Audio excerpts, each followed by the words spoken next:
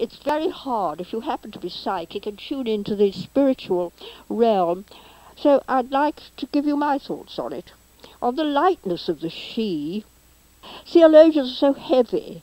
Patriarchal druids, some of them, are so pompous the doctrinal dreariness of occultists can get one down. I've long been bored stiff by harangues from masters of what? Wisdom, of course.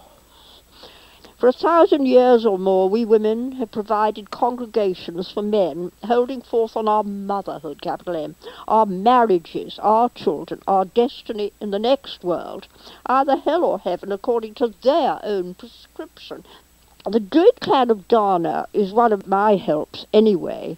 We founded it to have a happy, easy sphere for people to be their true selves, uninhibited by logic, facts, dogmas, criticisms. Facts? So-called facts. Remember, our theologians for centuries taught the fact that the sun went round the earth and burnt those who disagreed with them. Scientists created nuclear bombs to benefit their countries. They haven't.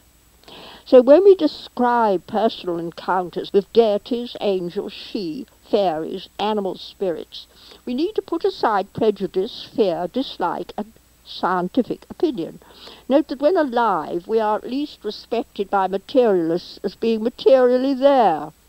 The moment we die, we are non-persons with no rights, privilege, or respect.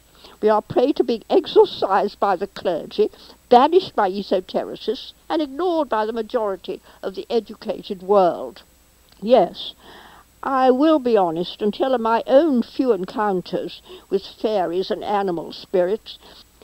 I shall present an elf, a triton, and talking squirrel theomise. The elf I met in full consciousness when I was projected out of my body at night. Here I must emphasize that fairy folk exist on a higher frequency than we do. There is a feeling of the speed you notice in early films, and more so with the deities, spirits of light. This elf was friendly and had come to help me back to my body. He was about three feet tall and was supernaturally thin, but what struck me most was his hair. He had very long, thin pigtail that reached to his knees like a fine rope. Some years later I was describing him to a fairy contactee.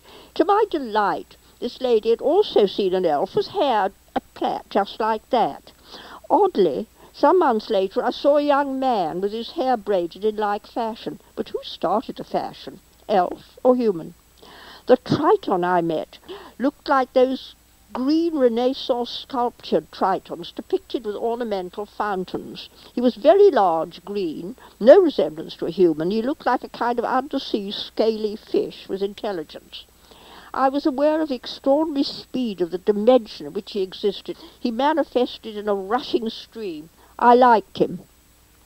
The most extraordinary creatures I have met were red squirrel come field mice animals in my bedroom when I was out of my body at night. What was so unusual was that they had human-like intelligence. They really were, and could therefore talk with me. They had come to help me back to my body again.